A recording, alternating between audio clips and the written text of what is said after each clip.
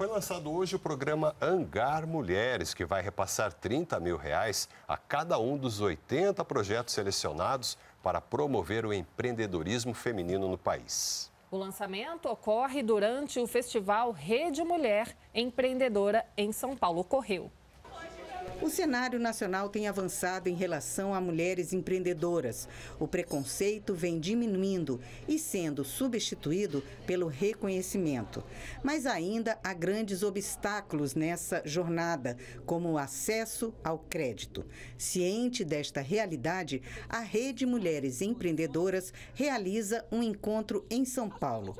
Para Ana Paula Repesa, da Apex Brasil, abrir espaço para a mulher empreendedora significa incentivar a economia do país. A gente sabe que quando a mulher tem acesso a mais renda, ela geralmente vai investir em educação e nutrição para os seus filhos, para a sua família. Ou seja, ela também está garantindo um futuro melhor para quem está ali em volta dela. A gente está falando de gerar mais renda para vocês e para as empresas de vocês, ou seja, um impacto imediato, mas também mais renda para quem trabalha com vocês, para quem está ao redor de vocês.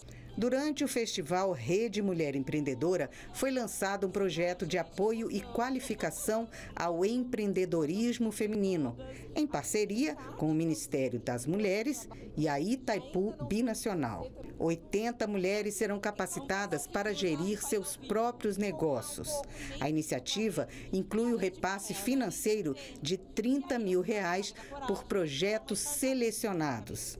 A iniciativa inclui o repasse financeiro de 30 mil reais por projetos selecionados.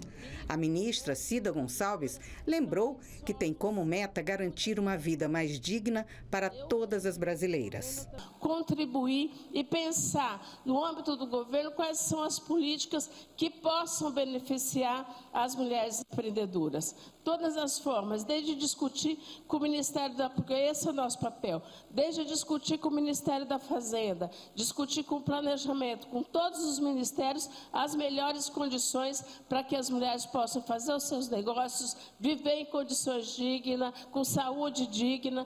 Essa é a função do Ministério das Mulheres.